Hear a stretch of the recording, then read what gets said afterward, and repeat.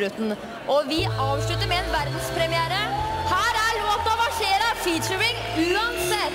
Takk for oss.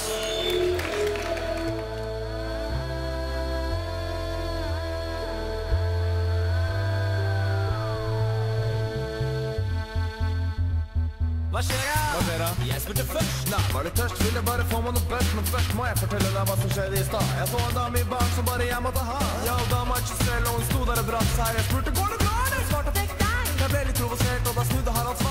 jeg kjenner nesten George Bush, og bare pass deg. Noen ropte «Ah, det er en gal kar. Han ropte halleluja, og kanskje båten i bar. Jeg bare, jeg bare, jeg bare, jeg bare. Jeg stakk i baren til Perstål og bare drakk en pils. Ah.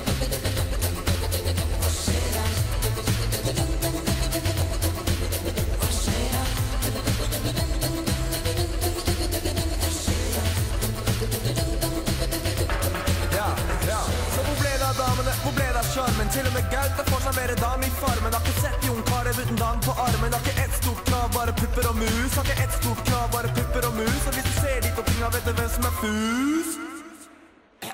Ja, da finner vi frem arket med den rosa sangen og stemmer i dere.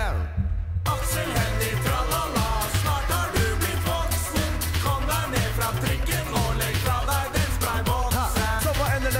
alle kjendisene skal dra det samme sjekketrikset som en popprodusent som sier hey! mitt navn er, mitt navn er, mitt navn er David Eriksen.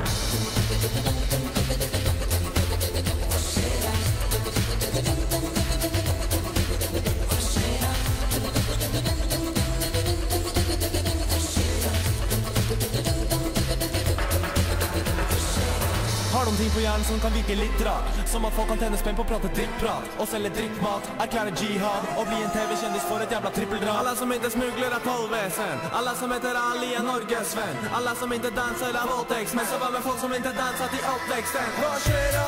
Otto Jespersen Hva skjer da? Mia Gundersen Hva skjer da? Arve Tellefsen Hva skjer da? Alle de på gamlehjem Hva skjer da? Dildo Rudberg Hva skjer da? Kjetil Kefke?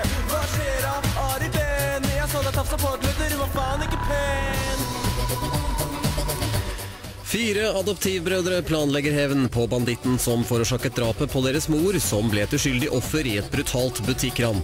Eller var det noe mer som lå bak? Se det amerikanske spenningsdramaet Four Brothers straks. Etter filmen blir det baluba når søstrene Hope and Faith arrangerer fest på et gamlehjem klokken ti på halv to i natt.